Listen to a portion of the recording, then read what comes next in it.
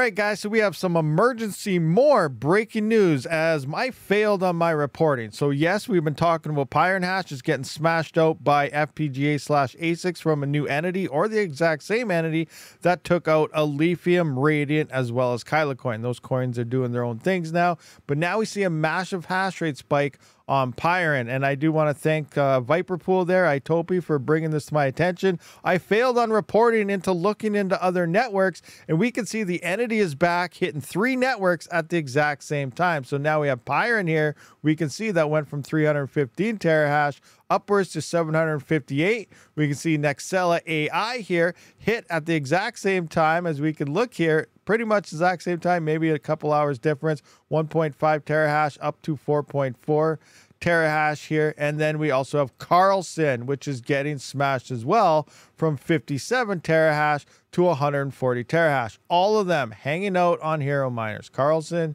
Hero Miners. Nexell, Hero Miners. Pyrin, Hero Miner. So the entity is back, smashing these things away. Now, in some of my comment section, there's some AI GPUs that do pretty darn well here. I don't think that's the case because we're seeing possibly, at least for Pyrin Hash here, we're seeing each worker is doing about five terahash themselves. And another message here from my Topi just came in is everything is concentrated on hero miners, which we kind of just looked at, but also HK Stratum. So Hong Kong, Hong Kong is coming in flying, guys. I'm just coming into the Zealous Discord here where they're talking about things. You know, we're talking about these FPGAs coming in, possible Zealous Hash V3, which they're not going to be working on yet, but I really think the rumors are starting to fly.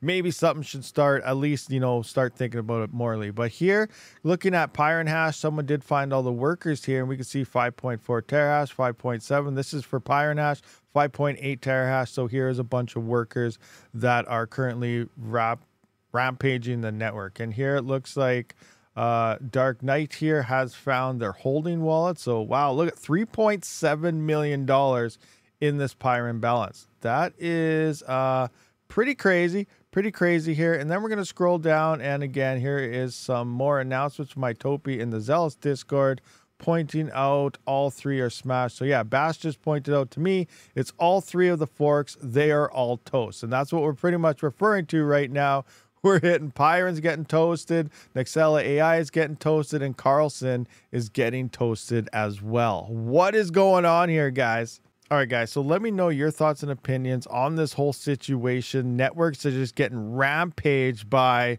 these single private entities that are just taking over networks like crazy. These are not GPU mineable anymore because you cannot compete with these things. So it's time to find other coins if you are currently mining these algorithms. Anyway, guys, thank you for checking out this video, keeping you up to date on the latest news. And as more things do develop, I will fill you in. Thanks for watching. I'll see you on the next one. Rabid out.